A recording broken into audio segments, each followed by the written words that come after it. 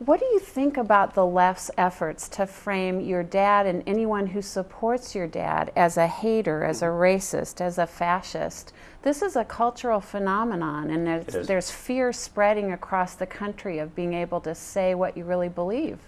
Well, I think it's terrible uh, for a couple of reasons. I, I, said this on the campaign trail when it was so obvious that was sort of the game plan. You know, we're going to smear you with racist, fascist, whatever.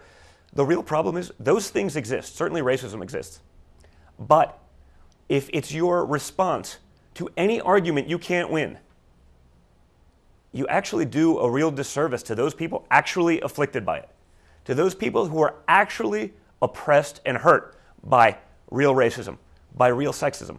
So if you use it every time, what really happens is, and in the real world, what really happens is people hear it, they roll their eyes, and they move on because they realize it's nonsense in this case. The problem is when people who are actually affected by it say it, doesn't matter anymore.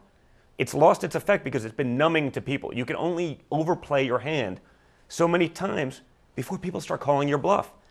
Um, so it's actually doing nothing on the positive side of being able to promote that as a real issue. And what it's doing on the other side is it's hurting those that are actually afflicted by it. So um, it's been terrible to watch because I know him. Uh, I've seen him my whole life. I've seen the things he's done. You know, it's amazing. All the rappers, all the this, all his African American friends, from Jesse Jackson to Al Sharpton. You know, I have pictures with them the whole life. We say hi. I've always been friends.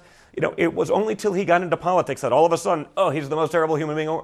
I don't know. He wasn't so terrible a couple years ago when you're at his events. He wasn't so terrible then uh, when you're hitting him up for charity dollars and he's sponsoring things and sponsoring scholarships and doing X, Y, Z uh, for you guys. That wasn't a problem. But now all of a sudden, you're a conservative, so we must take this stance.